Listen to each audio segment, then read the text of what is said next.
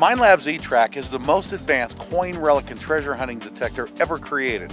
It features Minelab's FBS technology, which delivers 28 frequencies, offering you not only better depth on large targets and better sensitivity on smaller targets, FBS also gives you the ability to work in harsh ground conditions, including salt, and still have clear, precise target ID and discrimination, which means the E-Trac finds more treasure and less trash.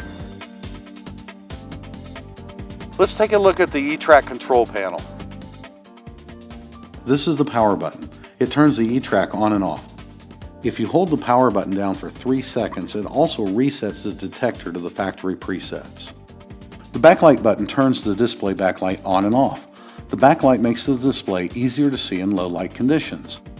Running your detector with the backlight off as much as possible will extend your battery life. Left and right shift buttons are used in the advanced editing functions. You'll become more familiar with these options after you learn the basics of the E-Trac. The navigation buttons are used for adjusting settings in the detect screens. They're also used to navigate around the settings within the menu. The menu button is used to access the main menu at any time while the detector is turned on. The menu allows you to adjust all the basic and advanced settings of the E-Trac. The pinpoint button turns the pinpoint function on and off. Knowing exactly where the target is helps you dig less and recover targets faster. The detect button is used to switch between the detection and digital screen displays. It's also used to return the E-Trac to the main detecting mode from anywhere within the menu system. The Quick Mask button switches the display between Quick Mask and the main detect screen.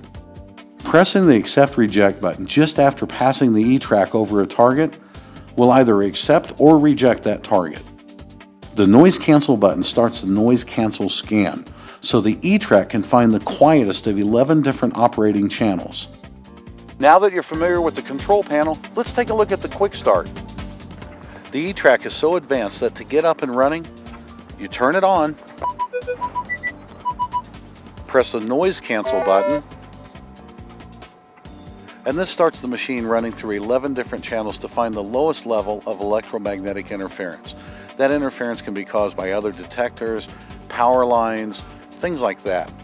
Once the machine has gone through the noise canceling, it will select a channel and it'll give you a tone to let you know that it's found the right channel.